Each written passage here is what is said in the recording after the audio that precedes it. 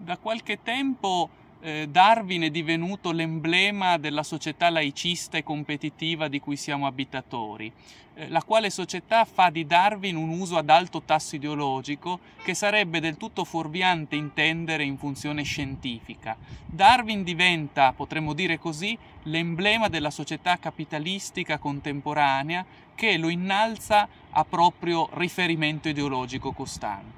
L'uso che oggi si fa di Darwin è solo in apparenza scientifico, essendo invece, se correttamente inteso, di tipo ideologico e politico. Eh, per un verso i vecchi alfieri del 68 hanno abbandonato la bandiera di Marx per riciclarsi nella bandiera di Darwin, divenendo essi stessi da sostenitori dell'universalismo proletario, sostenitori dello scientismo assoluto che non accetta chiacchiere metafisiche, religiose, artistiche. In nome della scienza essi pretendono di innalzare la scienza stessa a superstizione scientifica, cioè a unico sapere valido riconosciuto, con annessa delegittimazione di ogni altra forma di sapere che non sia la scienza stessa. Eh, in questo modo essi diventano i tarantolati del darwinismo e trasformano Darwin in una forma di feticcio eh, del quale non è possibile mettere in discussione neppure scientificamente le tesi.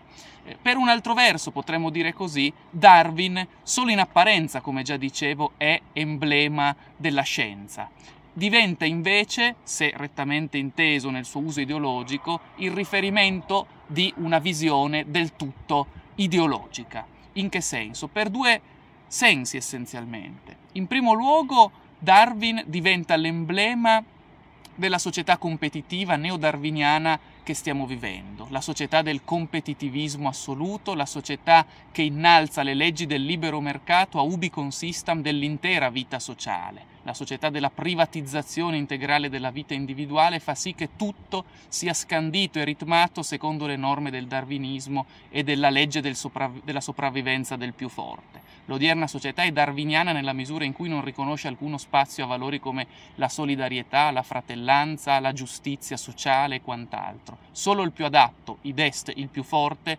è legittimato a esistere. Il libero mercato in fondo, al di là di ogni velo ideologico, questo significa la libertà per il più forte di massacrare il più piccolo senza alcuna possibilità di mediazione da parte di forze terze come lo Stato. Dunque Darwin diventa emblema della società competitiva. Per un altro verso, e procedo molto rapidamente, Darwin diventa oggi l'emblema dell'ateismo individualistico coessenziale al nichilismo della tecnica e del capitale dominanti. Eh, oggi chi pensa eh, sulla scia di Odifreddi o di Flores d'Arcais, per citare due nomi della galassia laicistica contemporanea, che la scienza eh, sia in qualche misura e l'ateismo siano sinonimi di scientificità, eh, perde di vista il sostrato ideologico di questa prospettiva. Oggi la scienza e l'ateismo figurano come alleati ideologici dell'individualismo libertario tipico della società di mercato, nella misura in cui Dio storicamente è sempre stato il riflesso trascendentale della comunità umana, o se preferiamo è stato anche l'immagine del rapporto creaturale che lega fra loro gli uomini come uniche creature eh, e quindi affratellate nell'amore che le unisce eh, rispetto al creatore, rimuovere Dio, segnare la morte di Dio, significa perciò stesso rimuovere il nesso comunitario intersoggettivo, far trionfare quella che con Hegel potremmo chiamare il sistema dell'atomistica, ossia l'individualismo competitivo in assenza di Dio, di valori comunitari